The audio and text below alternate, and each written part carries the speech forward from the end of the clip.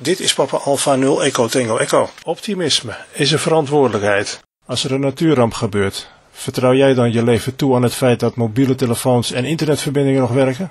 Vertrouw je daar het leven van je gezinsleden aan toe? Ik dacht het niet. Amateurradio. Communicatie, die altijd blijft werken. In den Niederlanden sind wir heute am Freitagabend wieder im internationalen Amateurfunkmagazin Papa Alpha 00 News zu hören auf dem Relais PI3 UTR auf 145,575 MHz. Da werden der Ostsee- und auch der Deutschlandrundspruch landesweit ausgestrahlt. PI3 UTR ist das höchstgelegene Relais in Papa Alpha und befindet sich auf dem Gerbrandi-Turm in Eiselstein in der Nähe von Utrecht. Wir begrüßen auch heute wieder insbesondere die Hörer in den niederländischen Überseegebieten In der Karibik und auch in Kanada, die uns via Echolink auf PI3 UTR zuhören. De nu volgende uitzending bevat schokkende voorbeelden van hoe een hobby mensenlevens kan veranderen. Bij jonge mensen onder de 18 kan de aanwezigheid van een volwassene tijdens de uitzending gewenst zijn.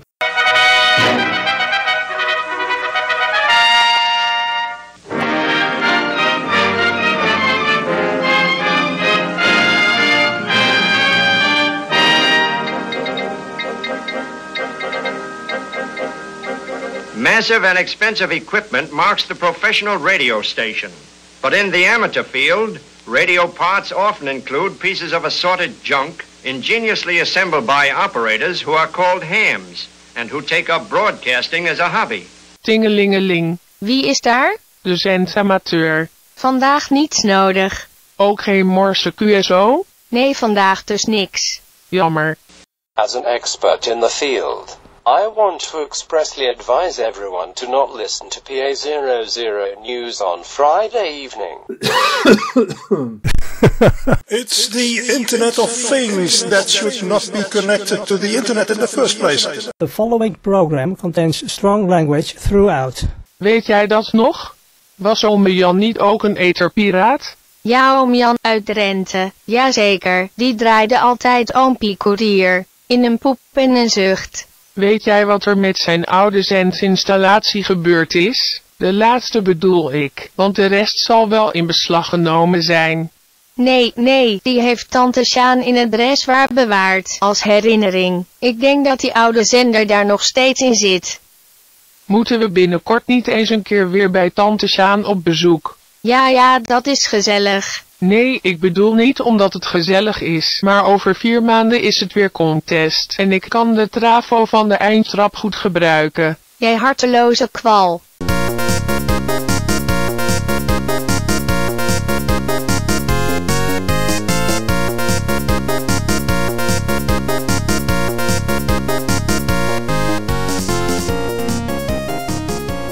Goedenavond, dit is de wekelijkse uitzending van de Daily Minutes, ook wel PA00 Nieuws genoemd. We hebben een uitzending met uh, in ieder geval vijf uh, van de Daily Minutes zoals die afgelopen week zijn uitgezonden gedurende de week. En daarnaast is er, uh, ja ik weet nog niet precies wat het menu schept vandaag, want er waren een aantal dingen die waren zo pas nog niet beschikbaar, maar misschien tegen de tijd dat ik ze ga editen wel. Maar er is in ieder geval Engels nieuws. En waarschijnlijk is er een rain report. En er is in ieder geval een gedeelte Duits met de Oostzee-Rundsproeg en de Duitsland-Rundsproeg. 分野の専門家として、私は金曜日の夜に PA00 ニュースに耳を傾けないように誰も助言する。 Dit is Papa Alpha 0 Echo Tango Echo voor de Daily Minutes met een nieuwsupdate voor vandaag 15 februari 2016. Dat is het bulletin van maandag. Vandaag wat de data betreft alleen een SSTV-plaatje helemaal aan het eind van de uitzending in BW12. In Duitsland waren op 31 december 2015 precies 67.349 centamateurs. De neergaande trend van het aantal amateurs bij de oosterburen was daarmee bijna ten einde. De reden daarvan is waarschijnlijk het al een aantal jaren toenemen van het aantal mensen dat in Duitsland aan het zendexamen deelneemt. Dit waren er in 2015 1140, dat waren 149 meer dan in 2014. In de afgelopen vijf jaar steeg het aantal examendeelnemers in Duitsland zelfs met 65 procent. Adam Curry, die al een paar jaar zendamateur is, heeft sinds kort een vanity call sign. Uh, a, a little transition, Entremont. Yes. Uh, it's official. As of today, I am uh, Kilo 5 Alpha Charlie Charlie. But I got my, my vanity uh, call sign. You got your vanity call thing. Yeah. Kilo 5 Alpha Charlie Charlie. I'm loving it. A oh you is it a ACC. That's is that the sound uh, standard or is that AAC? I can't remember. You no, got it wrong. No, there. that's be AAC, but this is Adam Clark Curry. Oh, Kilo 5 Alpha Charlie Charlie. So I've been waiting for this to happen. So I have to go back to the FCC licensing system and you have to refresh. They're not going to tell you. You don't find out until you actually see it appear. And while I'm doing this, I, I, I got sucked. Op hobbyscope.nl, ja, ik spring een beetje van de hak op de tak, is trouwens een interessante uitleg te lezen van hoe de interferentie op de ontvanger in Eindhoven voor PI2 NOS ontstond en hoe dit verholpen is. Ja, nog zo'n kort bericht. Op ham-dmr.nl is te vinden hoe je de populaire PD365 van Hytera kunt voorzien van Nederlandstalige menus. Op ham-dmr.nl dus. Ja, en omdat er vandaag niet zo heel veel nieuws is, heb ik hier dus nog een extraatje.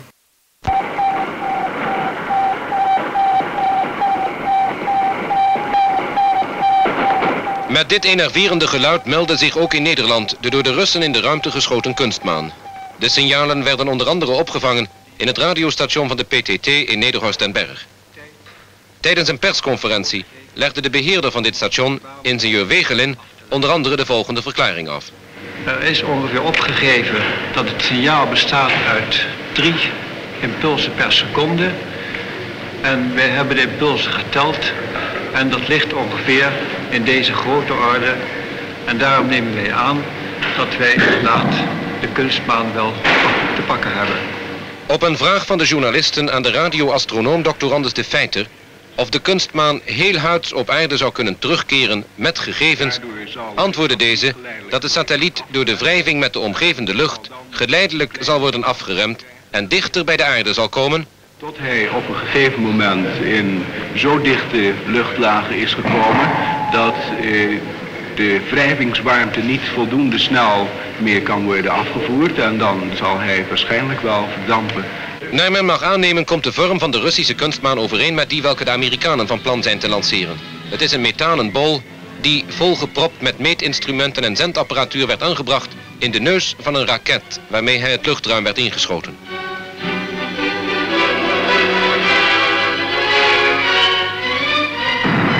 Deze tekenfilm brengt de werking van de drietrapsraket in beeld die de Amerikanen denken te gebruiken. Als het eerste deel zijn taak heeft volbracht, maakt het zich los en treedt automatisch het tweede in werking. Met radar kan men de raket volgen. Het derde deel van de raket bereikt tenslotte in een vrijwel horizontale stand de buitenste laag van de atmosfeer, waar de kunstmaan de vrijheid krijgt en zijn cirkelgang rond de aarde begint. De Russische satelliet schijnt echter met een enkelvoudige raket omhoog te zijn gebracht. De radioapparatuur zendt signalen uit die, zoals we nu weten, op aarde kunnen worden opgevangen. In Nederhorst en Berg konden deze seinen door middel van een oscillograaf ook zichtbaar worden gemaakt.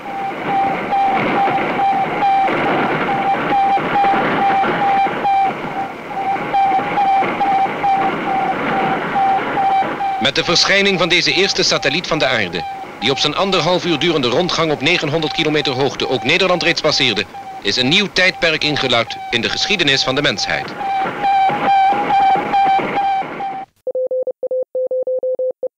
Er zijn mannen wiens hobby het is om contact te zoeken.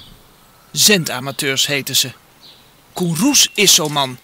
Afgelopen zondagavond heeft hij contact kunnen maken met astronaut André Kuipers in het ruimtestation ISS boven Italië.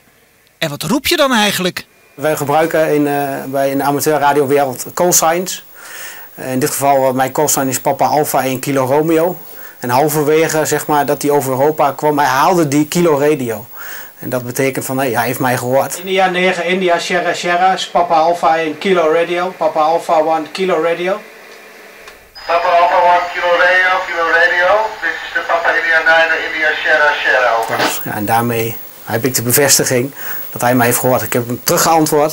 Ik heb hem de groeten gedaan hier vanuit Oost-Nederland. En weg is André weer. Maar dan heb je ook wat. Ja, dan heb je een zogenaamde verbinding gemaakt met, uh, met dat station. Ja, dan is iedereen jaloers, toch? Ja, ja dat, is, uh, dat is zo. En van zo'n moment heb je dan natuurlijk ook zelf opnames gemaakt. Nee, helaas niet. Hoe kan dat? Ja, in de heet van de strijd. Ik heb altijd mijn mobieltje meestal bij de hand. Dat kan er tegenwoordig heel erg makkelijk mee. En ik heb wel eens eerder het aangezet, maar ja, dat vergeet je. En dan, uh... Gelukkig heeft Koen het fragment van een collega zendamateur uit Israël gekregen. Zodat hij en ook wij nog een aandenken hebben aan dit vluchtige contact met André. Bye bye. Papa India 9 India Sierra Sierra. Heb jij wel eens gehoord van PD1NK? Jazeker, hoe heet die ook alweer? Pico of micro? Nee, nee, dat is nano. Natuurlijk, dat is waar ook. Wist je dat NK in zijn kool staat voor Noorse kat? Klopt. Hij had ook problemen met zijn Cyperse katboord. Oh wee, dat is niet zo mooi. Ja, de dierenarts wist ook geen raad. Nooit geweten trouwens dat katten ook een fase lokroep hebben. Nee, ik ook niet. Is vast iets mis met de stembanden van die kat.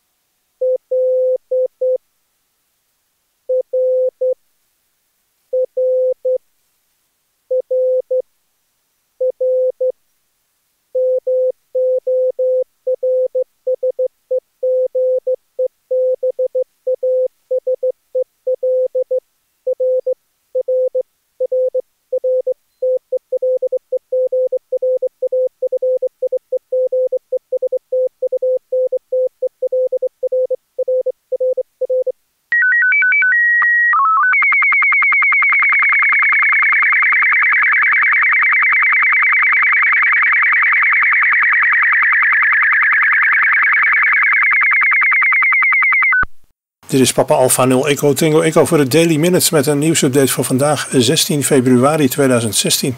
Dit is het bulletin van dinsdag.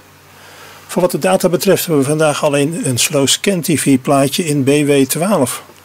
Ham-dmr.nl maakt reclame voor de Delftse DMR-ronde. Iedere zondag om 12 uur op Brandmeister Talk groep 2041, als ik het goed zeg. De ronde bestaat sinds december 2014. Ik heb zelf in de tijd dat er een link was met die daar wel eens meegedaan. En hij wordt geleid door PI1DFT repeaterbeheerder PD0DFT. Iedere zondag om 12 uur dus op Brandmeister Talk groep 2041. Het nieuwe verslag voor januari van het IARO Monitoring System is onlangs weer verschenen. De IARO MS is wat vroeger de Intruder Watch heette. Allereerst was er in januari een weerfax te ontvangen op 7101.9.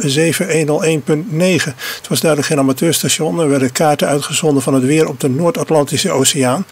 Het signaal kwam vanuit het Verenigd Koninkrijk. Na informeren van de Bundesnetzagentuur in Duitsland, in Duitsland zorgde die ervoor dat het station de stekker eruit trok. Dat gebeurde op 18 januari. Het Chinese over de horizonradar was er ook weer, onder andere 160 kHz breed in onze 15 meter band, vooral hoorbaar in de Jaro-regio 3 en in Europa. Andere over de horizon radarsignalen werden vanuit bijvoorbeeld Duitsland gehoord. 17 verschillende radarsystemen in januari alleen al op 40 meter, 22 stuks op 20 meter, 44 op 17 meter, 75 op 15 meter en 7 stuks in de 10 meter band. Ik pik de meest in het oog springende er natuurlijk uit. Er werden in januari weer vele honderden intruders gesignaleerd.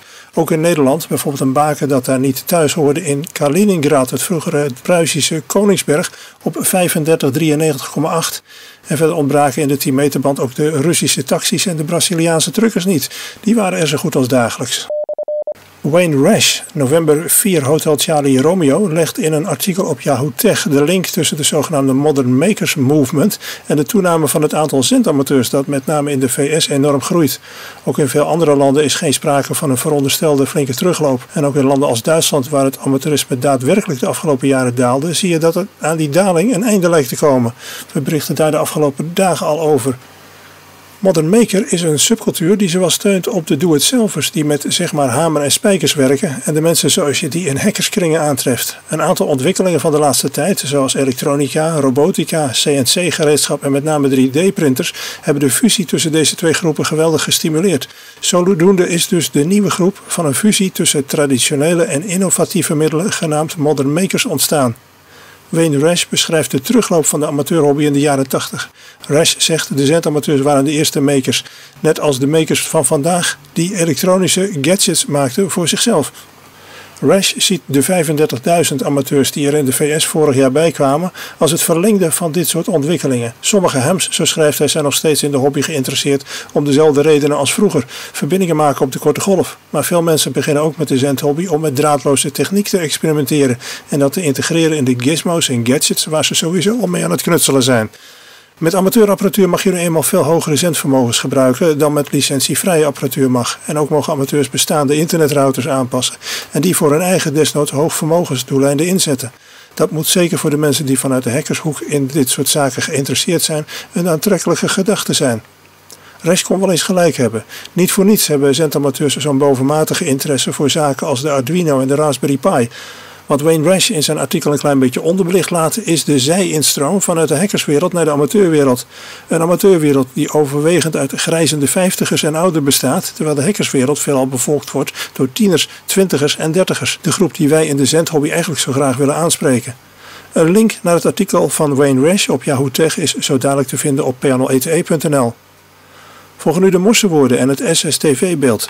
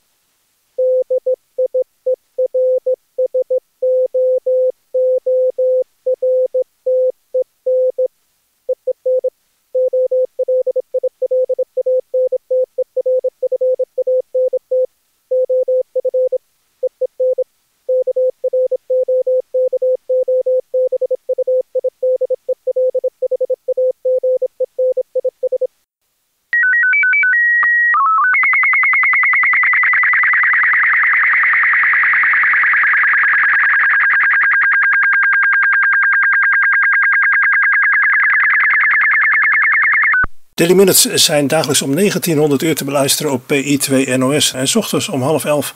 Verder zijn de uitzendingen onder andere te beluisteren op youtube.com schuine streep PA0ETE. Dit is Papa Alpha 0 Echo Tango Echo voor de Daily Minutes met een nieuwsupdate voor vandaag 17 februari 2016. Het is van woensdag. Om te beginnen de data. Wat de data betreft hebben we vandaag opnieuw alleen een SSTV plaatje in BW12. Na meerdere dagen van uitstel zijn eindelijk de Japanse satellieten CubeSat 2 en CubeSat 3 gelanceerd. Dat gebeurde op 17 februari vandaag dus. Het oorspronkelijke plan was dat de lancering afgelopen vrijdag op 12 februari zou plaatsvinden. Meteen na het afstoten van de satellieten begonnen deze met uitzenden. Een CW-signaal van CubeSat 1 werd vrijwel direct al in Brazilië ontvangen. CubeSat 1 en CubeSat 2 bevatten behalve het baken, store en forward payloads voor amateurgebruik. Een derde satelliet, Horyu 4, is eigenlijk geen amateursatelliet, maar gebruikt wel een baken in de 70 centimeter band voor telemetrie. Na ongeveer een maand zullen de amateur-payloads in gebruik worden genomen. CubeSat 1 heeft een baken op 437.100, CubeSat 2 op 437.425 en de gebruikte modus daarbij zijn CW en GMSK met 9600 bps. De downloads zitten op dezelfde frequentie. Horyu 4 heeft bakens op 437.375 en op 2400.300. Duitsland mag weer volwaardig van 50 MHz gebruik maken, dat wil zeggen de zendamateurs daar. Uh, en, ja, en naar Duitse maatstaven. Het belangrijkste is dat daardoor weer een zendvermogen is toegestaan van 25 watt PEP in plaats van 25 watt ERP. Ook de verplichte vaste aansluiting die niet bezet mag zijn is niet meer verplicht. Verder mag er ook weer FM gebruikt worden en mag een groter frequentiegebied worden gebruikt. Eind vorig jaar liep een soortgelijke regeling af. De huidige regeling geldt ook weer tot eind van dit jaar, waarna opnieuw de beperkte voorwaarden gaan gelden. Hamgeer.wordpress.org, de website van een bekende amateur hier uit de regio, is weer tot leven gekomen. Dit keer is het niet de eigenaar Hans zelf die erop gepost heeft, maar door een samenwerking met andere websites in de VS, John Miklor. Het betreft een review van de BTEG UV 2501 plus 220, een drie bandenapparaat voor 144 MHz, 440 MHz en voor 220 MHz, wat in de VS een amateurband is. Conclusie is onder andere dat het apparaat bij mobiel gebruik uitstekend functioneert. Indrukwekkend, zo concludeert John Miklor. Het enige commentaar betreft eigenlijk de wat kleine drukknoppen. Momenteel is er een geomagnetische storm aan de gang. Dat is sinds gisteren. Het is niet de CME die voor Valentijnsdag verwacht werd, maar een zogenaamde coronal hole die de zonnewind doet uitwaaieren, al dus southgatearc.org. Een rechtbank in de VS heeft Apple verordoneerd om de FBI te helpen toegang te verkrijgen tot de inhoud van een iPhone. De iPhone is versleuteld en beveiligd tegen brute force aanvallen op het wachtwoord. Na tien foutieve pogingen wordt de, inhoud, de gehele inhoud van de iPhone vernietigd. Dit melden meerdere websites. De zaak speelt rond de schietpartij in San Bernardino van een paar maanden geleden. De CEO van Apple, Tim Cook, meldt dat Apple in beroep zal gaan en zich ook verder zal verzetten tegen pogingen van de overheid om de beveiliging van data alsmaar te ondermijnen. De tool waartoe de rechtbank Apple nu veroordeeld heeft dat ze die moeten maken, creëert volgens Cook wel degelijk een backdoor. En hoewel de Amerikaanse overheid garandeert dat die achterdeur voor alleen dit doel gebruikt zal worden, is er niemand die dat kan garanderen. En ook niet dat het alleen de overheid is die deze mogelijkheid zal blijken te kunnen benutten. Onlangs is een stichting opgericht die de middengolf voor landelijk gebruik wil behouden. Deze zogenaamde stichting De Middengolf is opgericht naar aanleiding van de consultatie voor vrijgave voor laag vermogensgebruik van de middengolf die afgelopen weekend sloot. De stichting is opgezet door de van diverse middengolfinitiatieven bekende Ruud Poesen. Volgens Poesen heeft de minister wel toegezegd dat een aantal stations landelijk kunnen uitzenden, maar in het beleidsvoornemen dat aanleiding was voor de recente consultatie is daar volgens Poesen niets van terug te vinden. Poeze wil een nieuwe landelijke zender op de Middengolf starten voor de oudere luisteraar. Poeze, die zelf drie Middengolfzenders in Midden-Nederland beheert, heeft meer kritiek. Volgens hem laat de overheid ook voorstellen voor LPAM, Low Power AM radio liggen. Er is namelijk veel meer ruimte vrij dan verondersteld wordt. Dit komt doordat ook in het buitenland zenders grootschalig zijn en worden uitgeschakeld. De informatie voor dit onderwerp komt van verschillende websites, onder andere van mediamagazine.nl. Volgend SSTV-plaatje.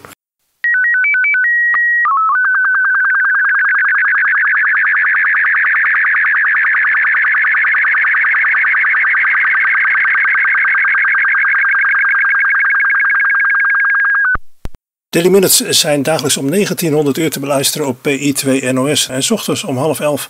Verder zijn de uitzendingen onder andere te beluisteren op youtube.com PA0ETE. Aanvullende informatie bij de uitzendingen is te vinden op www.pa0ete.nl. Mail verder gerust je tips, commentaar en desnoods prietpraat naar xapenstaartje Dit is Papa Alpha 0 Echo Tango Echo voor de Daily Minutes met een nieuwsupdate voor vandaag 18 februari 2016.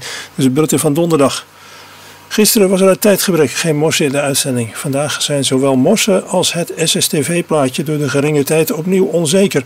Dave Swanson, KG5CCI uit Kansas, heeft een verbinding gemaakt via Amstad Oscar 7, die eigenlijk onmogelijk is, zo zegt hij zelf. Op 10 februari maakte Swanson verbinding via de mode B-transponder van de bijna 41 jaar oude satelliet met Papa Yankee 2RN, Romeo November in Brazilië. Een berekende afstand van net iets meer dan 8000 kilometer. Een verbinding die volgens eigen zeggen van Swanson dus eigenlijk niet mogelijk is. Mode B is de transponder met een uplink op 70 centimeter en een downlink op 2 meter lastige aan de verbinding was dat beide stations op een ander halfrond tegenover de Evenaar zaten. Het venster voor de verbinding bestond daardoor slechts 5 seconden. Na verschillende pogingen lukte het door heel snel te communiceren een volledige verbinding te maken. Swanson denkt niet dat via Amstad Oscar 7 nog verdere verbindingen mogelijk zijn. Amstad Oscar 7 werd gelanceerd op 15 november 1974, 13 dagen nadat ondergetekende op centexamen ging. De satelliet ging zeven jaar lang werk, of bleef zeven jaar lang werken toen er een defect optrad aan een van de accu's. Men vermoedt een interne kortsluiting in de met zonnepanelen opgeladen accu's. Tot ieders verbazing werd de satelliet 21 jaar later, op 21 juni 2002, ineens opnieuw gehoord. De prognose is dat de kortsluiting in de accu door degradatie vanzelf weer is verdwenen. Uiteraard werkt de accu niet meer. De satelliet werkt nu alleen als de zonnepanelen voorzien worden van zonlicht. Doordat de satelliet al zo oud is, voldoet hij op diverse punten inmiddels niet meer aan de voorwaarden zoals bijvoorbeeld bandplannen etc. Gebruik van de mode B-transponder is in de VS alleen nog toegestaan door een speciale toestemming van de FCC. Er zijn nog steeds dagelijks stations die van de satelliet gebruik maken. Niet alleen de website hobbyscope.nl heeft een gedaanteverwisseling ondergaan. Van hetzelfde scope-logo voorzien is ook de site van PI3UTR onderhanden genomen. De site is dan ook onderdeel geworden van de Scope Portal en is ook via hobbyscope.nl te vinden onder het pull-down menu Systemen. Veel informatie over de repeaters in IJsselstein en ook meerdere foto's. Ook voor de andere onderdelen van het omvangrijke repeatersysteem zijn er vergelijkbare pagina's. Dat zijn PI2NOS uiteraard, PI6NOS, dat is de 23 centimeter repeater op de toren in Hilversum, PI PI1-UTR-DMR in IJsselstein. PI1-UTR-D staan ook in IJsselstein. PI3-UTR, Tevembrolet. PI6 TEN, de 10 meter FM-repeater in Hilversum, PI6 ATV, het ATV-relais en een pagina over Hamnet. Van zowel PI610 als van PI6 ATV bestaan ook nog de oude pagina's. De personen of persoon achter DMR Plus heeft hebben volgens een artikel op ham-dmr.nl aangegeven DMR Plus niet verder te zullen uitbouwen er zullen alleen nog bugs worden opgelost. Dit is een opmerkelijke ontwikkeling. In november nog was DMR Plus, dat uit dezelfde koker komt als IRC-DDB bij D-Star, in een aantal landen waaronder Nederland het dominante netwerk voor DMR. Netwerken worden vaak bekritiseerd omdat ze experimenten door amateurs en repeaterbeheerders ontmoedigen of verbieden. Rond november kwam een netwerk onder de naam Brandmeister spectaculair op en op Duitsland na heeft dat netwerk inmiddels in beide andere landen DMR Plus vervangen. Als een netwerk niet meer vernieuwd wordt, is de kans groot dat het niet lang meer serieus zal worden gebruikt. Overigens zijn er ook bij IRC-DDB en de bijbehorende reflectors op D-Star strubbelingen. Zo is dat systeem ooit opgezet, mede omdat bij de Amerikaanse US Trust en D iedere amateur zich individueel moest registreren.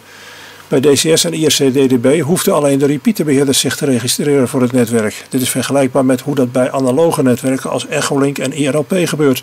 Een paar maanden geleden moesten individuele amateurs zich bij dit netwerk plotseling ook registreren. Dit in combinatie met het geregeld niet goed werken van de DCS-reflectors heeft ertoe geleid dat een al bijna vergeten systeem van X-reflectors weer is ingevoerd. Dat zijn reflectors die solitair zijn en geen onderdeel van grotere systemen. Een dergelijke reflector kan eenvoudig worden opgezet. We zullen zien hoe de soap rond DMR Plus zich verder zal ontspinnen.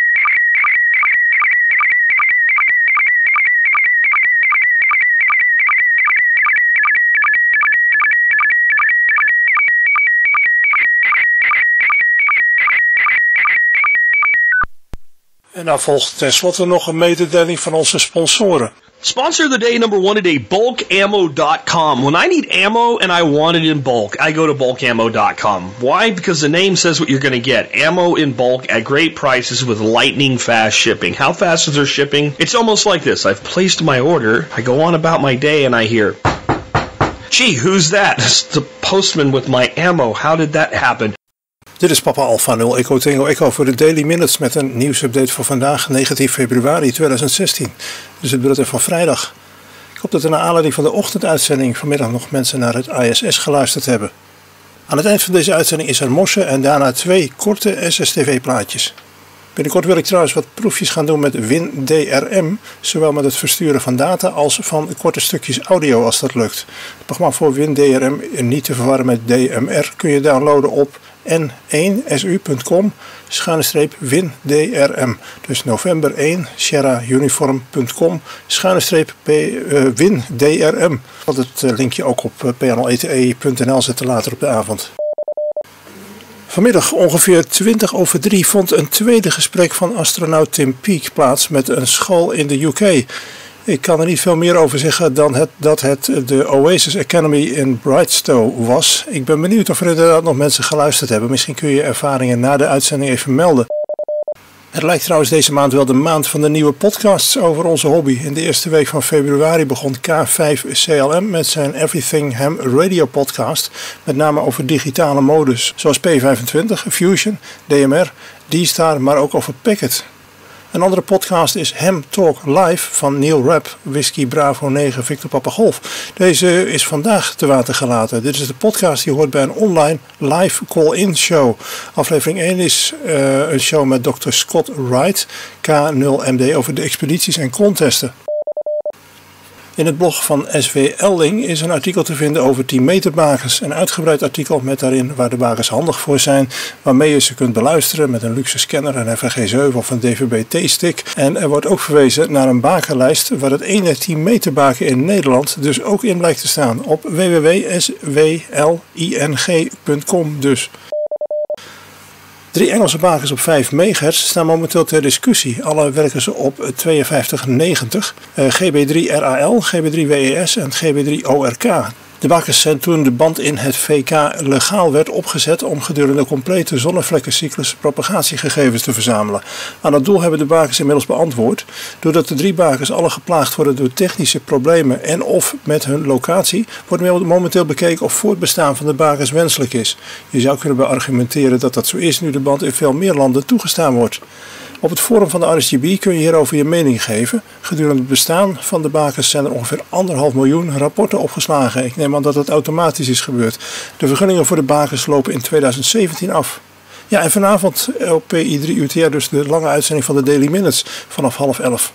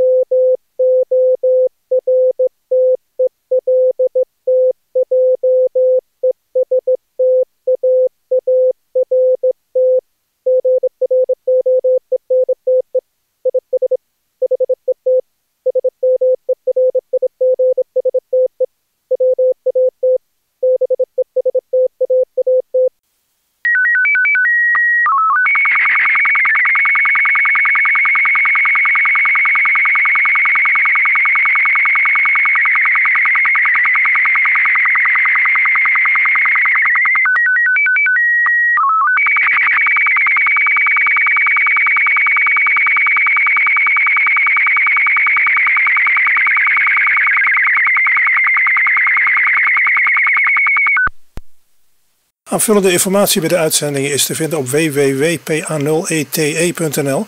Mail verder gerust je tips, commentaar en desnoods prietpraat naar x-xdv.me.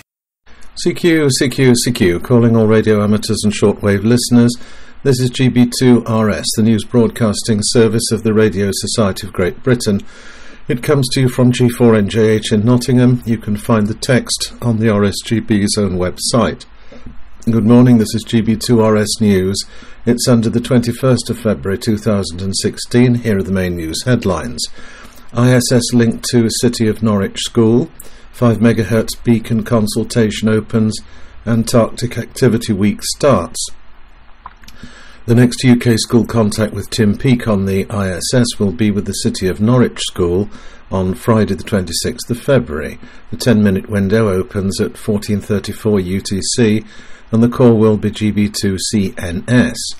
A team of nine amateurs, mainly from Norfolk ARC, have already run two one and a half hour workshops entitled Making Waves for Students. The workshop started with an introduction to amateur radio and included a showing of the new RSGB Youth video. Then they ran a circus of five activities covering SSTV, Morse, Waves, APRS, and four competent batteryless crystal sets, componentless, I'm sorry, battery, batteryless crystal sets. The following scheduled contact is Powys Combined Schools between the 29th of Feb and the 6th of March. The exact dates and times are only notified by NASA about 10 days beforehand, but will be publicised via GB2RS the RSGB website and social media once available. All school contact transmissions from the ISS can be heard on the usual downlink frequency of 145.8 MHz. As announced in the March edition of Radcom, a consultation has opened on the future of the three UK 5 MHz beacons, GB3RAL, WES, and ORK. With the completion of the 5 MHz experiment and increasing technical and site difficulties, views on their futures and offers of support are sought as part of the consultation exercise. Full details http two dots two slashes forums dot t r eh, t h e r s g b dot. That's forums dot the rsgb dot org. Look for this year's 13th Antarctic Activity Week to take place between February the 22nd to the 28th. Complete details and a list of participants is available online at www.waponline.it forward slash default dot aspx question is impossible to read. If you have a look at www.waponline.it www.waponline.it you'll find it. The website will have an updated list with call signs and QSL managers. As many as 37 stations could be on the air conditions permitting the youth contesting programme of IARU Region 1 will be continued into 2016. Youth members from the IARU R1 Member Society are invited to take part in a contest from so-called Top Gun stations. They will learn how to operate the contest station, improve their contest skills, and will aim for the best results together as a team.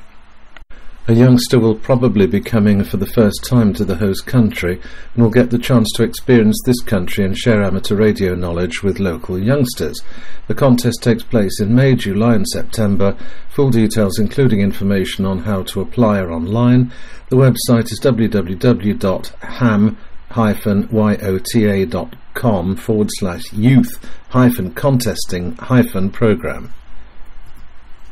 International Amateur Radio Union President Tim Elam, V6SH-G4HUA, has presented former ARRL CEO David Sumner, K1ZZ, with the IARU's prestigious Michael J. Owen VK3KI Memorial Award. Tim cited David's skill, diplomacy, and encyclopedic knowledge of amateur radio and his role, role on the international scene as most deserving of the award. Michael J. Owen, VK3KI, was a towering figure in the IARU and the Wireless Institute of Australia. He died in 2012. David Sumner started with his service at the Watershed World Administrative Radio Conference in 1979, which yielded the so-called WARC bands 3017 and 12 meters. David had travelled to more than 60 countries in connection with his ARRL and IARU responsibilities, which include 17 years as IARU Secretary. World Thinking Day is taking place this weekend. This is when members of the Girl Guiding use amateur radio to, con- to try to contact other members throughout the world as part of the celebration of their founder's birthday. If you hear Thinking Day stations on the air, please give them a call.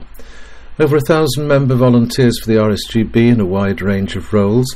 What motivates them and how, what do they get out of it? Find out from the RSGB's new video. Go to www.rsgb.org forward slash volunteer hyphen video to see it on our website or view it on the RSGB YouTube channel. If you'd like an offline copy to show at your club, please contact us.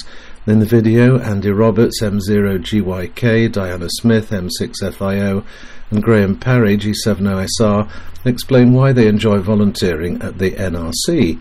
So if you've got some spare time, would like to help others with the amateur radio community, or would like to shape the future of the hobby, watch the video, then take a look at the volunteering section in About Us on our website www.rsgb.org and see what inspires you. Now for details of rallies and events in the coming week, there are no rallies in the diary for this weekend. Next weekend two rallies take place. The Brats Raynham Radio Rally is at the Raynham School for Girls, Derwent Way, Rainham, Gillingham in Kent. ME80BX on the 28th of February. Doors open at 9.30 to 10am. There'll be talk in a station where there will be trade stand special interest groups and catering on site. More from Trevor 07717 or online www.brats, radio-qth.org. Also on Sunday the 28th of February, the Pencoed Amateur Radio Club Tabletop Sale takes place at Pencoed, Pencoed Rugby Football Club, the Verlands, Philindra Road, Pencoed, CF355PB. Tables £5 each on first come first served basis. Please book with Madeline 01639 885126. Doors opening 30am for sellers, buyers 9.30, admission £2. Hot food will be available in the morning and at lunchtime, and hot and cold drinks will be available from the bar. Details www.mw0prg.co.uk forward slash events.uk. If you have any rally or event information you'd like to, event, to appear in future editions of GB2RS News, Radcom, or the website, please email details to radcom at rsgb.org.uk. Now the DX News compiled from the 425DX News and other sources. Masato J0RQV will be active, a 6 Yankee 5 stroke call sign mainly from his hotel in Kingston, Jamaica, NA097, starting on the 21st of Feb until the 17th of April. Activity will be mostly at weekends and spare time. He'll work on 10 to 160 meter bands using CW and SSB, QSLM0OXO using ORQS or Logbook of the World. Members of the Radio Club or Radio Club Argentino will be on the air from Carlini Base in the South Shetland Islands during the last few weeks of February. They'll be signing LU1ZI and the IOTA reference number is AN010. Members of the Italian expedition team will be active as 3XY1T from the Los Islands AF051 until the 4th of March. They'll be on all bands from 160 metres to 6 on SSBCW and RITI. Mark K0MDJ is on the air as 9 Hotel 3DJ until the 1st of June whilst on a business trip to Malta. Activity in his spare time using mostly SSB on 17 metres Malta is EU023 QSL home call. The team of nine operators from North America will be active as A35T from the island of Tonga until the 28th of February, QSL's M0URX. A number of American operators will be QRV from Guantanamo Bay, NA015, until the 4th of March. Look for KG4BP, KG4EU, KG4HF, KG4HP, and KG4WV. Contest news now the ARRL International DX 48 hour contest is coming to a close tonight. Work the USA, contiguous 48 states, and Canada only, giving them signal report in your transmit power. US Canadian stations will give you a signal report in their state or province code. This is the CW leg of the event. The SSB leg takes place next month. The RSGB 50 megs UKAC is on Tuesday, 2000 hours UTC to 2230. The SHF UKAC takes place at the same time, 2.3 to 10 gigs bands. Both have an exchange of RST serial number and locator. On Wednesday, the UK EICC 80 metre contest takes place, 2000 hours UTC to 2100 hours. Operating CW 3.5 megs band, the exchange is your 4 character locator. Friday sees the start of the CQ Worldwide 160 meter DX contest at 2200 UTC, including at 2200 UTC on the concluding, sorry, at 2200 UTC on the 28th. SSB 1.8 megs bands, the exchange is RS plus CQ zone. US stations will also send their state and Canadians their province. The French REF contest takes place next weekend, 0600 UTC, on the 27th to 1800 UTC on the 28th. Using SSB 3.5 to 28 megs contest bands, the exchange's RS and serial number with French stations also sending their département number in italics or overseas prefix. Finally, for the next weekend, the 70 MHz cumulative hash 1 runs from 1000 UTC to 1200 UTC on the 4 meter band using all modes the exchange's RST, serial number and locator. Now the radio propagation report compiled by G0KYA, G4BAO and G3YLA. This week has been a mixed bag in terms of HF performance. At times, 10 metres has been open, with a 7P8C DX, con- D- expedition to Lesotho putting in an appearance on the bands for hours on Monday and Tuesday. But the high speed solar wind is never far away and played havoc with geomagnetic conditions later on Tuesday and all day Wednesday, with the KP index hitting 6 on both days.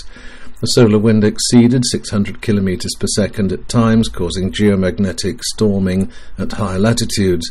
This was due to an ongoing coronal hole on the southern hemisphere of the Sun, a region within the Sun's corona with open magnetic field lines that allows a stream of particles to escape. This left the HF bands very noisy. Next week, NOAA predicts the solar flux index will be in the range of 100 to 115, which could spell openings on 10 metres. The good news is that the K index is predicted to be a reasonably settled 2 all week long. If this turns out to be accurate, we can expect some good DX openings on HF. Finally, don't forget the lower bands. There have been some good openings to Australia and Asia reported on 80 metres during the hours of darkness, especially around the grey line times. Now, the VHF and up propagation, this is another rather poor Tropo week coming up, but with one possible glimmer of hope in the south around midweek. We start the week with low pressure to the north of Britain and the long term area of high pressure near the Azores. This makes for a cold start to the week with northwesterly winds and some snow showers possible, producing good highly reflective clouds for gigahertz band scatter modes. Around midweek, a ridge from the Azores High will cross southern Britain to give a brief enhancement but nothing dramatic. It's unlikely to last because low pressure will return by the end of the week. Watch out for auroral propagation on the lower VHF bands in the coming week, as the Sun has been active and produced recent auroral propagation for northerly stations. The seasonally low random meteor rates continue with no major showers, so early morning continues to be the best time for random meteor scatter operation. The moon will be up overnight and the early morning this week, and its declination is, in, is decreasing. Moon windows will shorten and losses reach a maximum as the moon reaches apogee, its furthest distance away, on Saturday. And that's it for this week from the propagation team, and that's all from me also. Until next week. How to get more out of DXing coming up in 5, 4, 3, 2, 1. From the studios of the Radio Amateur Information Network, I'm Will Rogers, K5WLR, with this rain report. Take a look sometime on QRZ.com at the bios of world class DX stations, and you may catch yourself drooling over the mega position stations many of the top DXers have used to contact 300 plus countries. A notable exception is Don Whiteman, KK9H of Norfield, Illinois. Don has five band DXCC plus endorsements for 30, 17, and 12 meters. If you look at his antenna farm, it's not an antenna farm. Don combines timing and a lot of experience to work the world even on 160 meters from the Chicago area. Rains Hap Holly, KC9RP, chatted with Don KK9H in the rain booth at the 2015 Dayton Hamvention and learn some tips and tricks about DXing with Don. You've been a ham since 1967, but you told me you didn't become a DX enthusiast until 2000. How come? Well, I don't really have uh, an answer for that. I I think for all those years, I just basically tuned the bands and talked to people if I heard them calling CQ or called CQ myself to see who would come back. I didn't really focus on the uh, pursuit of collecting DXCC entities and countries, but you know, over the years, I did participate in a lot of contests to work people and give them points. And if you do that enough for enough time, you, you will receive enough QSL cards from all over the place, and I did. So while I wasn't actively pursuing DXing over those years, I did get a lot of cards, and of course, I sent out a lot of cards. And then I finally decided sometime around 2000, you know, it's time I probably should get this done and get the certificate and, and go on. And I, once I did, I really kind of focused on it from then. What is the most difficult part of DXing for you? Probably time. As a member of the NIDXA, one of the things that's really clear is that the people that are way up the scale on the uh, DXing achievements are, are, for the most part, they're retired folks. So they've got plenty of time to be there when the band is open in a particular country that they really need happens to be on the air. In my case, I can't tell you the number of times that some country I really wish to get and have shows up, but I'm at work. I'm not retired, so I've missed uh, one example, which was kind of funny. Is I think in 2007 a group went to these little rocks that pop up out of the South China Sea, the BS-7H uh, the expedition to Scarborough Reef. And literally, they're just a couple of rocks that pop up out of the water, so they had to build platforms and operate from there. The one time that they were copyable, I guess, in the black hole of Nine Land that we live in. I remember this vividly. It was on a Thursday morning at about 10 o'clock. I uh, got a phone call from one of my friends. They're on now, he's telling me. And I said, Well, that doesn't do me any good. I'm 17 miles away from my station. So I did not get a chance to, to work them. And, I, and they were trying to work nines because it was one of our NIDXA guys, K9HA, that happened to be on.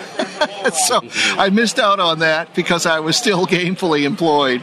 Now that you have 330 countries that are looking for the elusive 10 that you still need, what electronic resources do you use to help you toward that end? Well, maybe a little description of my station is in order. My antennas, which are, of course, a key component to success in any ham radio endeavor, are uh, simple and perhaps even modest, but I use an inverted L that's made out of uh, 130 foot length of wire that goes up about 55 feet, then across the yard to a tree that's tied off at about 60 feet up, and then a short lead coming into an antenna tuner I use on it. So that's what I use on 160, 80, and sometimes on 40. For the other bands, I use a high gain Patriot AV640 vertical those antennas are, are nice. They're not exactly some of the types of antennas you see that some of the big DXers have in their disposal, but they work for me.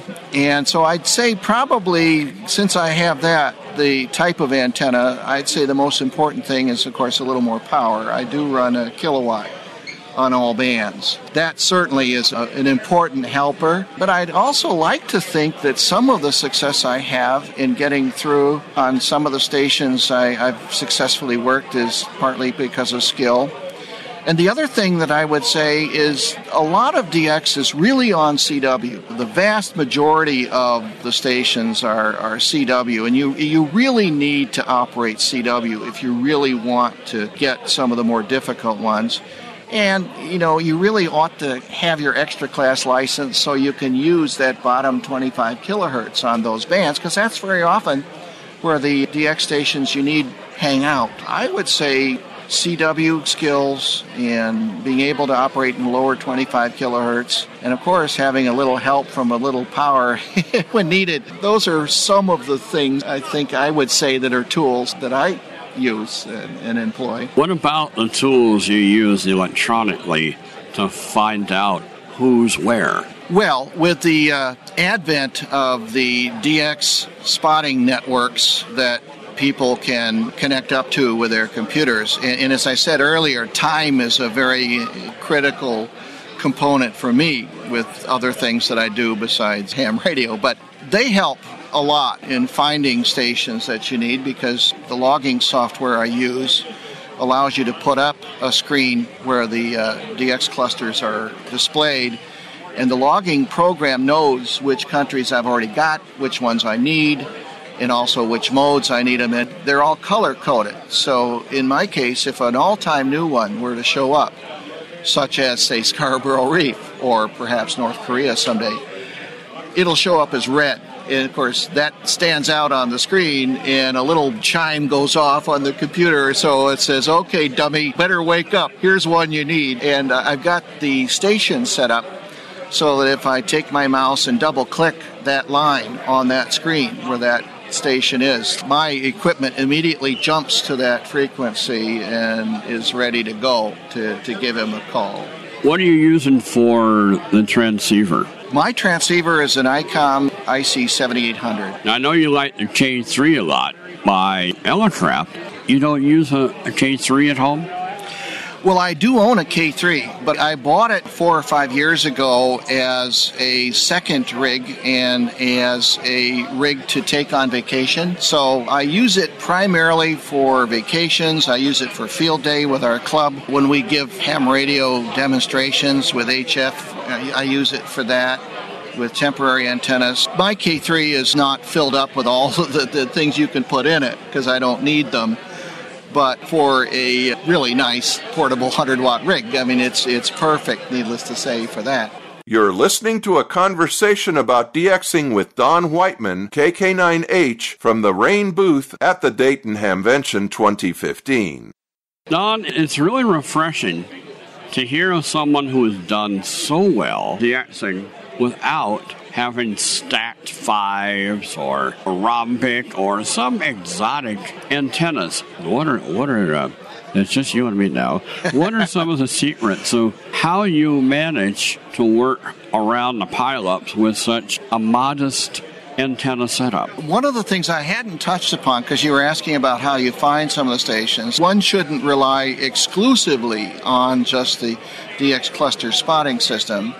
Because literally, by the time that somebody has spotted a station on the system, he's already worked them. Now everybody knows where that station is. So the ideal scenario is to spend time and again, we're back to that four letter word time.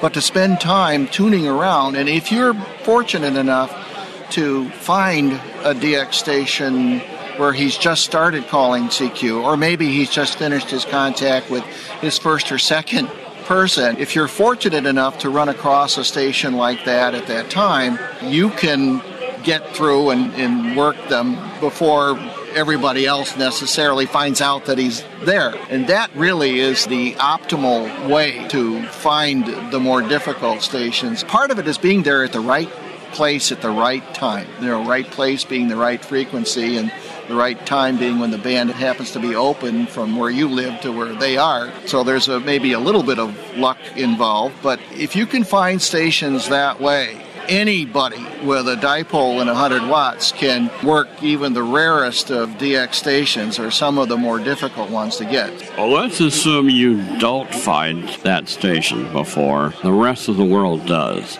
Let's say the station is on 10 meters on 28450. Okay. And he's working up rather than listening on the frequency he's transmitting, which I think the smart international DXers do. Yes, they do. So we can actually hear him and not everyone calling him. Right. Let's assume he's listening 20 kilohertz up. What tip can you pass along to help get through that mess? Absolutely. Well, that's called operating split. That's the terminology. And for everybody that wants to work a DX station operating that way, uh, I would request please, please make sure that your transmitter is actually set to operate on the frequency where he says he's listening, not on top of him. People sometimes forget to push their split button. We all do it. Part of it is if you can tune around the range of frequencies he says he's listening. So if we have a station at 28450 and if he says he's listening up, let's say 5 to 15, well, of course, that means he's listening from 28455 up to 28465. Part of what you try to do is when he's through transmitting is to listen into the pileup, as it were. And if you can, try to find the guy that he comes back to and he's just working. So, for example, if he calls W9ABC 59, try to go and see if you can find W9ABC, who probably will be kind of excited and say, "Oh, thank you, thank you, you're 592 70." You know, if you can find a guy saying something like that in that 10 kilohertz spread of stations calling him, when he's looking for the next station to call him, if you can put out a call on top of where that guy was, you've now increased your chance of that DX station working you. One of the other tricks is sometimes they move up or down a little bit as they work different people. So if you can figure out that he's moving up each time or if he's moving down each time, you can sort of lead him a little bit, call him a little bit above or below if that's the direction he's heading. Hap and I were actually employing the technique that I literally just described. Hap wanted to work Navasa, so I talked to Hap. I think it was on our 220 repeater, so we weren't bothering anybody else. And I was doing the tuning around the stations calling Navasa, looking for the guy that had just worked him. And that way I could tell Hap he's at such and such a frequency. And it worked. I found him and, and I said, Hap, tune here and call now. And you did. And they came back to you. And, and so we got it done. But that was using the technique I just described. It does help to have two receivers. Well, yeah, and I, I was going to mention that too. Not every rig has two receivers. Some have uh, twin VFOs. And so, what you kind of have to do, if that's the kind of radio you have, is you're going to have to kind of push that button and go back and forth and back and forth between the DX station's frequency and the other VFO where your transmitter is. And, and listen there, and having the second receiver saves you from having to go back and forth all the time. That's really the advantage of it. You can listen to both frequencies at once, so you know when he's talking and listening. That's key. You got to know what his cycle is when he's allowing the next guy to call him, etc. But also, if you can hear that and also tune through the stations calling him to find the last one he worked, that's a tremendous help. If you're using two receivers, though, that means you really need to have a separate antenna. No, you don't. The rigs that have uh, two receivers in them use the same antenna that they're on. If you have a radio that has two receivers in it, such as the K3s can and the 7800 does, when you transmit, it, it, it, automatically mutes both receivers, so it, it protects itself. But you don't need two antennas, just the same antenna works for both. And that concludes our first segment of a chat about DXing with Hap Holly, KC9RP, and Don Whiteman, KK9H, holder of 5 band DXCC with endorsements on 30, 17, and 12 meters. We'll hear more of what Don Whiteman, KK9H, has to say about DXing from Chicago's North Shore next time. The Rain Report is copyright 1990 2016 Rain. All rights are reserved. Now for Rain's chief pot and bottle washer, Hap Holly, KC9RP, I'm Will Rogers, K5WLR, bidding you very 73 from all of us affiliated with the Radio Amateur Information Network. www.therainreport.com, on Twitter at The Rain Report, and via iTunes. Schönen guten Abend, liebe YLs, XYLs, SWLs und OM. Hier ist Delta Foxtrot 0 Lima Oscar, die Clubstation der Redaktion Ostseerundspruch. Am Mikrofon ist DL9LBG. Ihr hört den Ostseerundspruch mit der laufenden Nummer 93 für die siebte Kalenderwoche 2016. Ausgestrahlt wird der Ostseerundspruch auch in dieser Woche nur am Sonntag auf 80 Meter auf 3620 Kilohertz. Im Ostseerundspruch hört ihr Meldungen, Tipps und Hinweise aus den DRC Norddistrikten für die Ostseeregion Ostholstein, Lübecker Bucht und Nordwestmecklenburg. Die Redaktion hat Michael, DL9LBG in Lütchenburg an der Ostsee und der ist hier für euch auch am Mikrofon, der Rundspruchstation DF0LO. Diese Sendung wird am kommenden Mittwochabend im Programm von SAT Zentrale, das Radio, direkt im Anschluss von Radio DRC noch einmal gesendet. In dieser Woche, wie gesagt, senden wir wiederum nur am Sonntag, dem 21. Februar und zwar auf der 80 Meter Frequenz 3620 Kilohertz plus QRM, da das Bunksberg Relais Delta Bravo 0 Papa Charlie auf 439,100 MHz nach wie vor nur mit minimaler Leistung im Milliwatt-Bereich arbeitet. Deshalb entfällt in dieser Woche erneut die Freitagssendung. In den Niederlanden sind wir heute am Freitagabend wieder im internationalen Amateurfunkmagazin Papa Alpha 00 News zu hören auf dem Relais PI3 UTR auf 145,575 MHz. Da werden der Ostsee- und auch der Deutschlandrundspruch landesweit ausgestrahlt. PI3 UTR ist das höchstgelegene Relais in Papa Alpha und befindet sich auf dem Gerbrandi-Turm in Eiselstein in der Nähe von Utrecht. Wir begrüßen auch heute wieder insbesondere die Hörer in den niederländischen Überseegebieten, in der Karibik und auch in Kanada, die uns via Echolink auf PI3 UTR zuhören. Wir beginnen wie immer mit dem Kalendarium. Heute ist der 50. Tag des Jahres, noch 316 Tage bis Jahresende. Namenstag haben heute Hedwig, Irmgard und Irma. Sonnenaufgang über der Lübecker Bucht war heute Morgen um 7.30 Uhr der mitteleuropäischen Zeit. Sonnenuntergang war heute Nachmittag um 17.32 Uhr MEZ. Somit war der heutige Tag 10 Stunden und 2 Minuten lang. Die Themenübersicht im Ostsee-Rundspruch, die Ergebnisse des Schleswig-Holstein-Aktivitätswochenendes 2015 liegen vor. Dann möchten wir bereits jetzt hinweisen auf den Nord-Contest 2016 am 16. April. Da gibt es eine neue Ausschreibung. Dann etwas aus der Welt des CB-Funkes. Die CB-Funkstaffel startet am 10. April. Das deutsche Programm von Radio Schweden stellt seinen Betrieb ein. Dann gibt's wieder regionale VHF-UHF-Conteste im Ostseeraum und die Vorhersage der UKW-Bedingungen bei uns in der Ostseeregion und daran anschließend wie immer den aktuellen Deutschland-Rundspruch von den Kollegen der Redaktion CQDL. Zum ersten Thema im Ostseerundspruch. Ergebnisse des Schleswig-Holstein-Aktivitätswochenendes 2015 liegen vor. In der vergangenen Woche hat der Funkbetriebsreferent des DARC-Distriktes Schleswig-Holstein, das ist Wolfgang Delta Lima 4 Lima Echo, die Ergebnisse des Schleswig-Holstein-Aktivitätswochenendes vom vergangenen November veröffentlicht. Aus unserem Sendegebiet haben sich YLs und OM wie folgt platziert. Da haben wir bei den Stationen außerhalb des DARC-Distriktes Mike OM Frank, DB1 LFA aus Kiel, Ortsverband Zulu 10 des VfDB auf dem 17. Platz der Klasse Kurzwelle SSB. Auf Platz 15 finden wir unseren Hörer Hans Martin, Delta Lima 9 Hotel Charlie Oscar aus Echo 09. In der Telegrafieklasse außerhalb Schleswig-Holsteins platzierte sich Lutz Delta Lima 5 Kilo Victor Victor mit dem Sonder-DOK Delta Victor Victor auf dem ersten Platz. Das war also ein Teilnehmer aus Mecklenburg-Vorpommern. In den Klassen D und E, Kurzwelle bzw. UKW für Lizenzinhaber der Klasse E, gab es jeweils eine Log-Einsendung. Sie stammen von Norbert Delta Oscar 1 Lima November Juliet aus dem OV Eutin Mike 02.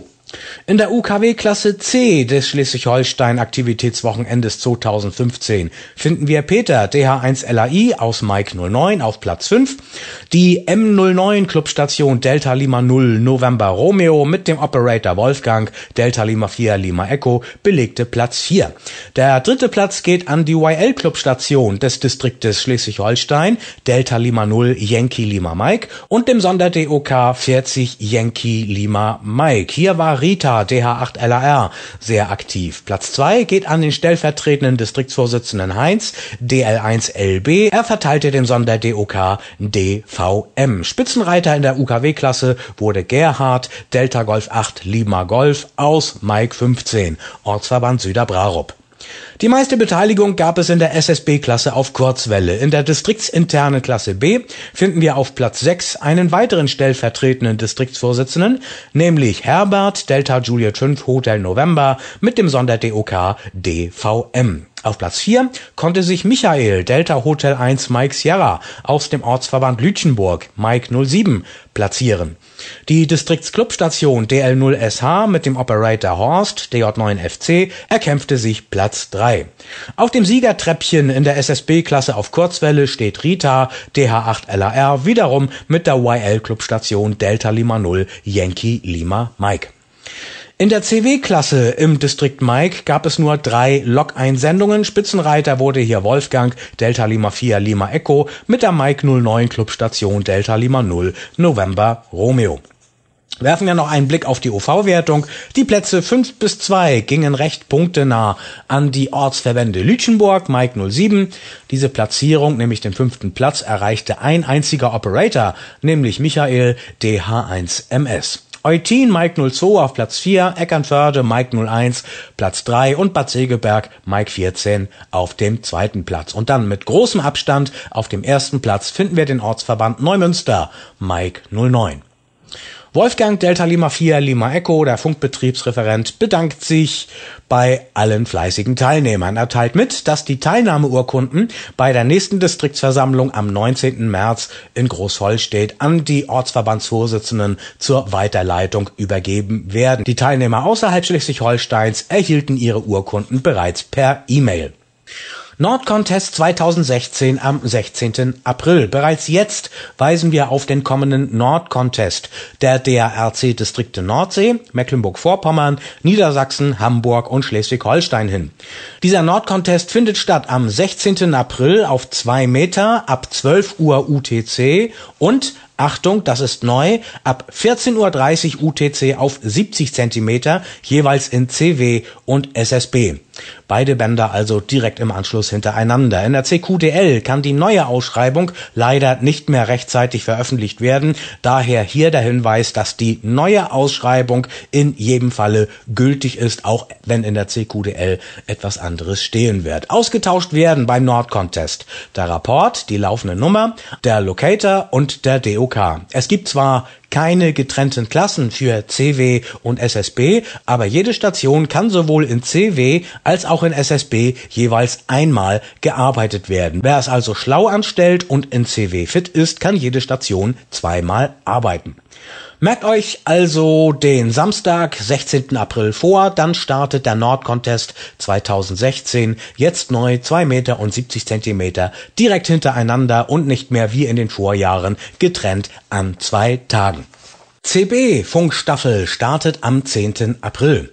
Bereits zum 14. Mal startet die Tango Hotel International DX und SWL Radio Group in diesem Jahr wieder die deutschlandweite CB Funkstaffel. Darauf weist uns unser Hörer Sebastian MV hin. Die Funkstaffel findet statt in der Nacht vom 9. auf den 10. April. Bei dieser Funkstaffel geht es darum, ein Passwort von Station zu Station weiterzuleiten. Als Ziel soll das Passwort unverfälscht wieder am Ausgangspunkt ankommen. In den vergangenen Jahren haben sich dazu CB-Funker aus ganz Deutschland an exponierten Standorten postiert, um eine große Reichweite sicherzustellen und zu gewährleisten, dass das Passwort lückenlos durch Deutschland und auch durch angrenzende Nachbarländer wandern kann. Zurzeit haben sich bereits 53 Stationen online auf funkstaffel.de angemeldet. Alle Teilnehmer werden kurz vor dem Start per E-Mail mit einer Anrufliste sowie dem genauen Startzeitpunkt und dem CB-Funkkanal versorgt, damit jeder Teilnehmer pünktlich an seinem Platz ist.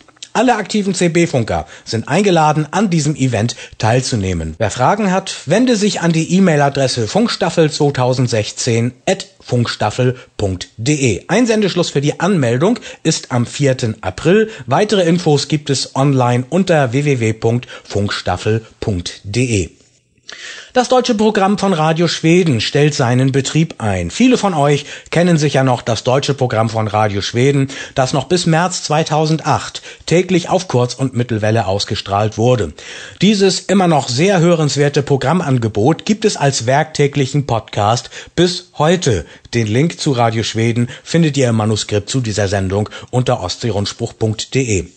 Am 31. März wird die letzte Sendung des deutschen Radio Schweden Programms veröffentlicht. Danach wird neben dem deutschen auch das russischsprachige Programm aus Stockholm eingestellt. Das gab der Chefredakteur der Auslandsprogramme von Radio Schweden am 21. Januar bekannt.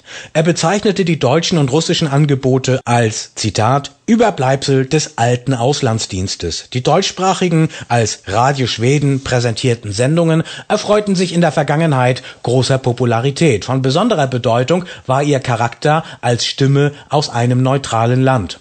Als Grund für die Einstellung wurde genannt, dass es heute so viel wichtiger sei, die derzeit in großer Zahl nach Schweden strömenden Migranten anzusprechen. Daher habe Sveriges Radio sich dazu entschlossen, die Fremdsprachenangebote auf Somalisch, Arabisch, Persisch, Kurdisch und Englisch zu konzentrieren. In Schweden lebende Sprecher der deutschen und russischen Sprache seien, so die Chefredaktion, zu vernachlässigen. Regionale VHF-UHF-Conteste im Ostseeraum. Im IARU Region 1 VHF-UHF-Contest-Kalender finden wir für dieses Wochenende und die kommende Woche folgende Wettbewerbe für unsere Region. Die Dresdner UKW-Runde, kurz DUR, veranstaltet an diesem Sonntag von 8 bis 11 Uhr UTC einen Gigahertz-Aktivitätskontest auf 23 Zentimeter und allen Bändern darüber. Zeitgleich läuft in Tschechien und der Slowakei ein Aktivitätskontest auf allen allen UKW-Bändern, also zwei Meter und alle Bänder darüber. Am kommenden Dienstagabend startet der Nordic Activity Contest Abend auf den Mikrowellenbändern 2,3 Gigahertz und darüber. Mit dabei sind dann auch Stationen aus Polen, den Niederlanden, Litauen und Großbritannien. In Großbritannien läuft am Dienstagabend zeitgleich zur Mikrowellenaktivität außerdem auch noch ein 6 Meter Aktivitätskontest. Vorhersage der UKW-Bedingungen im Ostseeraum die Wetterlage mit einer südwestlichen Höhenströmung erreicht ab morgen wieder mildere Luft. Den Ostseeraum gleichzeitig sorgt eine Warmfront für schauerartigen Regen. Heute Nacht klart es in unserem Sendegebiet noch einmal auf und die Temperaturen fallen auf Werte um den Gefrierpunkt. Ab morgen früh verdichtet sich dann die Bewölkung aus der zunächst Schneeregen und später dann Regen fällt. Ein Hochdruckteil aus der Biskaya sorgt für frischen bis starken Wind aus Südwest, der direkt an der Küste auch stürmisch werden kann. Und die weiteren Aussichten, auch am Sonntag und zum Wochenbeginn bleibt es meist stark bewölkt bis bedeckt mit gelegentlichem Regen und am Tage kriegen wir wieder bis zu 10 Grad. An UKW-Überreichweiten ist im Ostseeraum auch weiterhin nicht zu denken. Damit, ihr Lieben, sind wir am Ende des Ostseerundspruchs angelangt. Das Ganze gibt's nochmal zum Nachlesen online bei uns auf ostseerundspruch.de. Die Sendung kann man dort auch als Podcast nachhören. Habt ihr Nachrichten aus euren Ortsverbänden entlang der Ostseeküste zwischen Kiel und Rostock und umzu? Super, dann schickt eure Beiträge gerne der Redaktion Ostseerundspruch. Das könnt ihr tun per E-Mail an die Adresse dl9lbg, also Delta Lima 9 Lima Bravo Golf, at darc.de. Ihr braucht keine besonderen Formate Formatvorgaben einzuhalten, keine Schriftgrößen, Schriftarten, all diesen ganzen Tüdelkram brauchen wir nicht. Einfacher, formatfreier Text per E-Mail genügt. Telefaxe könnt ihr schicken an die Nummer 04381 902 4735 und eine Sprachmailbox ist auch geschaltet, auf der ihr eure Beiträge in Phonie hinterlassen könnt unter der Telefonnummer 04381 410 9000. Nutzt auch die Kommentarfunktion und das Kontaktformular auf ostseerundspruch.de und wenn ihr eine QSL-Karte von DF0LO, unserer Rundspruchstation mit dem Sonder-DOK Ostsee haben möchtet, dann sagt gleich im Bestätigungsverkehr Bescheid. Ich schicke euch dann gerne eine Karte via Büro zu. Empfangsberichte von SWLs werden ebenfalls sehr gerne und bevorzugt mit einer QSL-Karte bestätigt. Ich wünsche euch ein schönes Wochenende, allen Kranken unter uns eine baldige Genesung und allen allen Geburtstagskindern dieser Woche einen herzlichen Glückwunsch. Ich verabschiede mich mit herzlichen Grüßen von Haus zu Haus aus dem Ortsverband Lütchenburg, Mike 07, mit besten 55, 73, 76, der Herr behüte euch und an alle XYLs und YLs.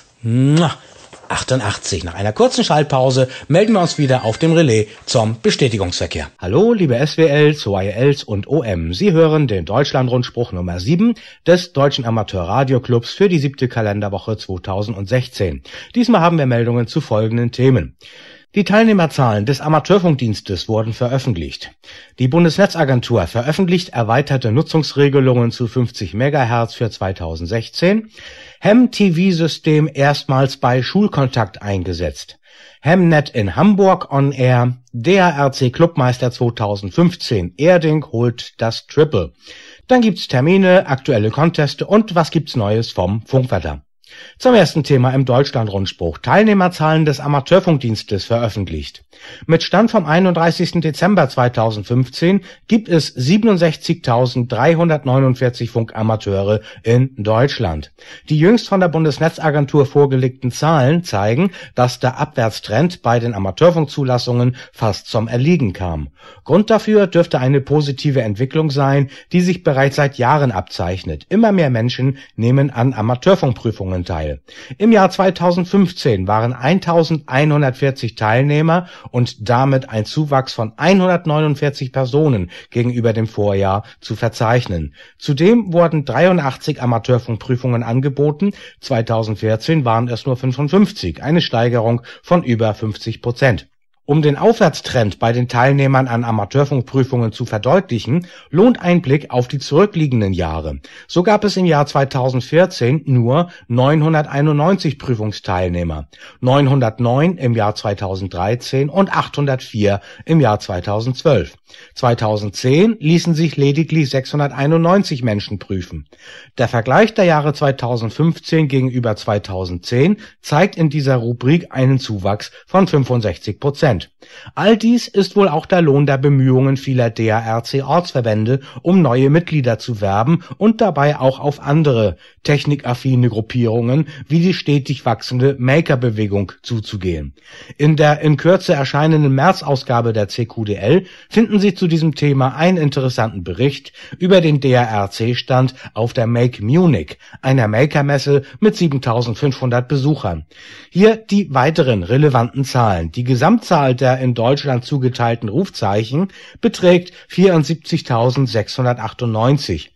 Neben den 67.349 Amateurfunkzulassungen, Klasse A 59.684 und Klasse E 7.665, gibt es 2.939 Clubstationen, 1.208 Relais und Barken, 18 Sonderzuteilungen gemäß § 16 Amateurfunkverordnung und 3.184 Zulassungen für den Ausbildungsfunkbetrieb. Auch hier gibt es eine deutliche Steigerung gegenüber 2014, 2.925 Ausbildungsrufzeichen gegenüber 2012, 2.528 Ausbildungsrufzeichen sind es sogar 26 Prozent mehr. Bundesnetzagentur veröffentlicht erweiterte Nutzungsregelungen zu 50 MHz für 2016. In der Mitteilung 34-2016 hat die Bundesnetzagentur erneut die gewohnten Regelungen zur Nutzung des 6-Meter-Bandes in Kraft gesetzt, die auch im Jahr 2015 durch den Amateurfunkdienst genutzt werden durften.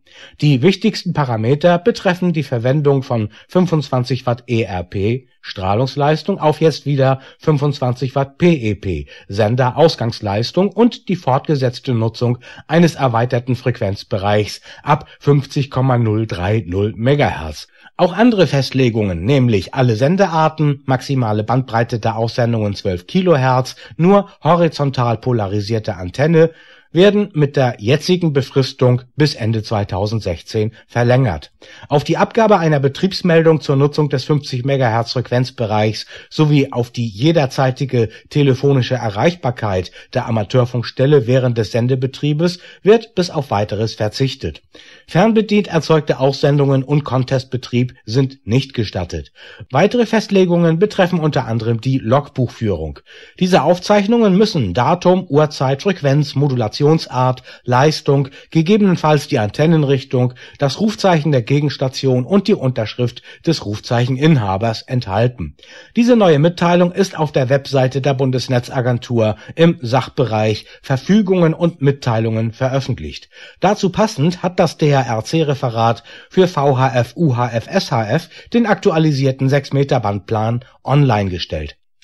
HEM-TV-System erstmals bei Schulkontakt eingesetzt. Am 11. Februar kam das HEM-TV-System auf der internationalen Raumstation ISS erstmals bei einem Skat mit Schülern der Royal Masonic School in Rickmansworth, England, zum Einsatz.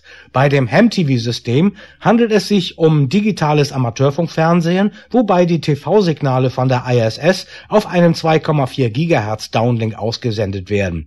So können die Schüler parallel zum Funkkontakt auf 2 Meter FM ihren Gesprächspartner Tim Peake Kilo Golf 5 Bravo Victor India nicht nur hören, sondern auch live sehen es war ein historischer Moment, fasst Gaston Bertel, Oscar November 4 Whiskey Foxtrot zusammen. Der ehemalige Chairman des Programms Amateur Radio on International Space Station, kurz ARISS, hatte sich maßgeblich für die Umsetzung des DATV-Projektes eingesetzt, nachdem das System vor über 15 Jahren erstmals vorgeschlagen wurde.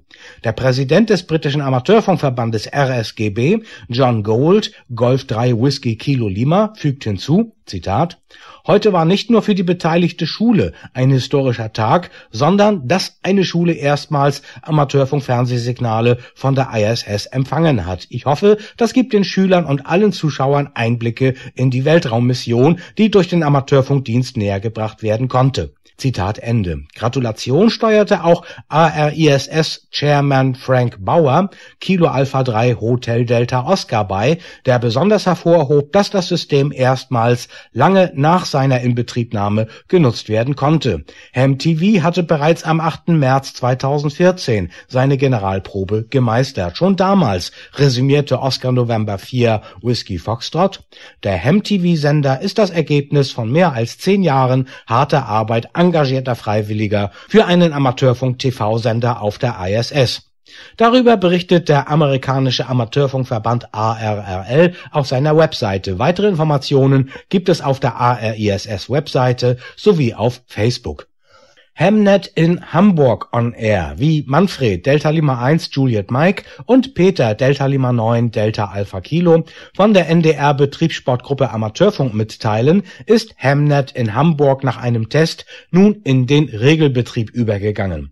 Auf dem Haus 11 des NDR Fernsehens in Hamburg-Lockstedt wurden bei Delta Bravo 0 Foxtrot Sierra DB0 FS in 70 Meter über Grund mehrere Hamnet-Zugänge eingerichtet. Neben dem Rundstrahl Skala auf 2397 MHz gibt es auch auf 5815 MHz eine 120 Grad Sektorantenne in Richtung Nordwest, beide mit vertikaler Polarisation. Die Bundesnetzagentur hat weitere Frequenzen genehmigt, die man in den nächsten Wochen nach und nach in Betrieb nimmt. Die SSID lautet Hamnet. Die Netzanbindung erfolgt über eine 54 Kilometer lange 5 Gigahertz Linkstrecke zu Delta Bravo 0 Alpha Golf Mike DB0 AGM in Lüneburg und von dort weiter über DB0 AGI in einen VPN-Tunnel. Es stehen schon jetzt diverse Dienste über DB0 FS bereit, wie E-Mail-Server, Audio-Video-Konferenzserver, Mumble und TeamTalk 4 sowie Audio-Video-Streaming über Icecast NSV. Ein auch verfügbarer Voice-over-IP SIP-Telefonie-Server mit internationaler Anbindung, Sprachmailboxen und Sonderrufnummern, zum Beispiel für Rundspruchabruf für den Ostsee- und den Deutschlandrundspruch, erfreut sich bereits jetzt großer Beliebtheit und verzeichnete in den vergangenen Monaten des Testbetriebs schon über 2000 Gesprächsverbindungen.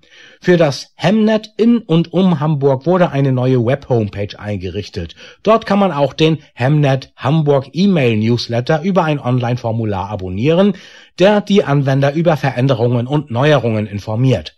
Details über die angebotenen Dienste findet man auf einem Webserver im Hemnet. Ziel ist es, in der Zukunft über Hamburg als Knotenpunkt Niedersachsen mit Schleswig-Holstein zu verbinden. Als nächstes wird eine Linkstrecke Richtung Pinneberg Elmshorn aufgebaut, um den nordwestlichen Bereich außerhalb des Stadtgebietes besser zu versorgen. Weitere Linkpartner werden noch gesucht. DRC Clubmeister 2015 Erding holte das Triple. Mit der Veröffentlichung der Ergebnisse des DRC Weihnachtscontest stehen auch der Clubmeister und die Platzierungen der DRC Clubmeisterschaft 2015 fest. Der Ortsverband Erding, Charlie 25, ist Clubmeister 2015 und holt den Titel damit das dritte Mal in Folge. Er erreichte das oberste Treppchen mit 3110 Punkten. Mit 3044 Zählern folgt auf dem zweiten Platz der Ortsverband der Technischen Universität Dresden (Sierra 07). Auf Rang 3 konnte sich erneut der Ortsverband Süderbrarup (Mike 15) mit genau 3000 Punkten behaupten.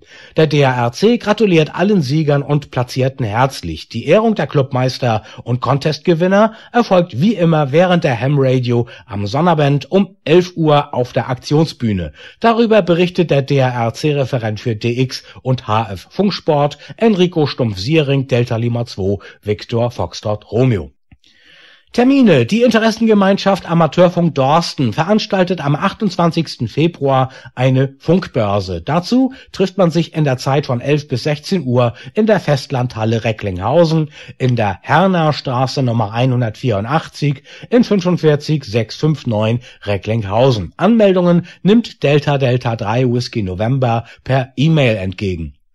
Rainer Wilke aus Duisburg referiert am 2. März um 19 Uhr in einem Lichtbildvortrag über seine USA-Reise. Treffpunkt ist das OV-Heim des Ortsverbandes Duisburg-Buchholz, Lima 16, in der Münchner Straße Nummer 25 bis 27 in 47249 Duisburg. Die Teilnahme ist kostenlos. Gäste sind herzlich willkommen.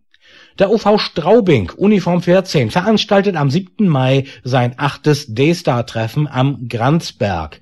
Der Granzberg liegt bei Schwarzach in Niederbayern und ist der Standort des Relais Delta Bravo 0 Romeo Delta Hotel DB0 RDH. Das Treffen beginnt um 9 Uhr. Vorgestellt werden die aktuellen Hard- und Softwareentwicklungen im Bereich D-Star und DMR. Bei ausreichender Zahl von Interessenten wird für Einsteiger in den Digitalfunk parallel zur Veranstaltung Veranstaltung auch ein Einführungsseminar in D-Star und DMR angeboten. Die Veranstaltung findet im Konferenzsaal des Gasthauses Menauer statt. Da der Platz begrenzt ist, wird um rechtzeitige Anmeldung beim OVV Josef Rohrmüller, Delta Lima 9, Romeo Alpha Romeo per E-Mail gebeten. Aktuelle Conteste an diesem Wochenende, 20. bis 21. Februar, da läuft der ARRL International DX Contest.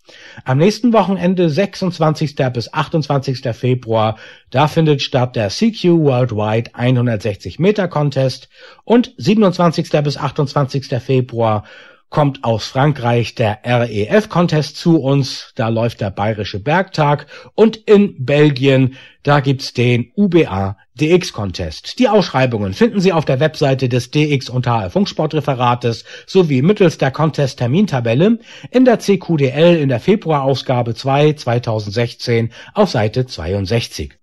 Der Funkwetterbericht vom 17. Februar, herausgegeben von Hartmut Büttich, Delta Lima 1, Victor Delta Lima. Zunächst der Rückblick vom 10. bis 16. Februar. Eine Auffälligkeit im fallenden Sonnenfleckenzyklus ist, dass die Intensität der solaren Radiostrahlung, also des solaren Fluxes, geringer wird, auch wenn gleichzeitig die Anzahl der beobachteten Flares steigt. Der solare Flux fiel leicht von 112 auf 107 Einheiten, obwohl ab dem 12. Februar neben 57 C-Flares täglich M-Flares registriert wurden. Offenbar fehlt der Sonne doch etwas Kraft. Dennoch konnten wir uns an recht guten Ausbreitungsbedingungen erfreuen. Die oberen Bänder öffneten alle auf den Taglinien und auch die unteren Bänder brillierten mit lauten DX-Signalen aus allen Kontinenten. Vorteilhaft waren tägliche isolierte geomagnetische Störungen mit positiven Phasen, bei denen die K-Werte 3 bis maximal 4 erreichten, die aber nur für drei bis sechs Stunden etwas die Kurzwellenausbreitung durch Fading störten. Bevor in der Nacht zum 16. Februar unerwartet spät die Teilchenwolke einer koronalen Massenejektion vom 11. Februar eintraf, herrschten super DX-Bedingungen. Nach kurzer Beruhigung des Erdmagnetfeldes tobt seit dem Mittag des 16. Februar, also seit Dienstag, ein geomagnetischer Sturm mit Aurora, ausgelöst durch starken Sonnenwind, der sich erst am Mittwochmorgen langsam abzuschwächen begann Vorhersage bis zum 24. Februar die Region 2497, die für alle M und fast alle C-Flares verantwortlich war, dreht am 18. Februar über den westlichen Sonnenrand und erscheint hoffentlich am 1. März wieder. Es verbleiben zwei unauffällige Sonnenflecken, zu denen sich am Wochenende ein weiterer gesellen wird. Es sieht dann eher nach einer sehr ruhigen Sonne aus, wobei die Fluxwerte in Richtung 100 Einheiten fallen werden. Dennoch profitieren wir vom durchaus guten Zustand der Ionosphäre und erwarten weiterhin die Öffnung aller Kurzwellenbänder. Für 10 und 12 Meter gilt diese Aussage meist nur für südliche und parallel zum Äquator verlaufende DX-Gebiete.